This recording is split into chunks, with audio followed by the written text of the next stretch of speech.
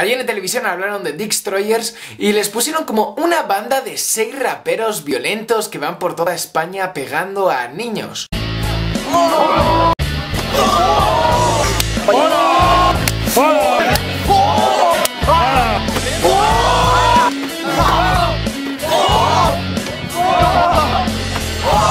Su canal puedes encontrar patadas voladoras, golpes, caídas, lo típico de Jackass. Vídeos en los que se dedican a darse golpes entre ellos en las partes vitales y bueno, lo hacen de distintas maneras creativas y absurdas. La tenía dura.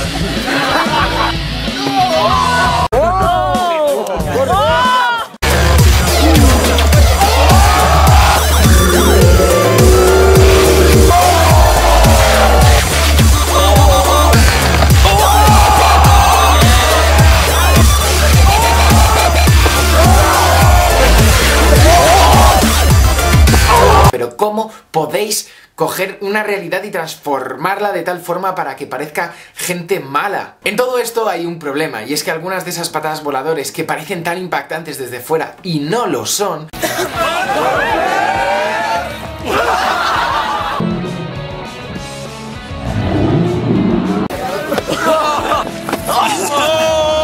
¡Oh, no me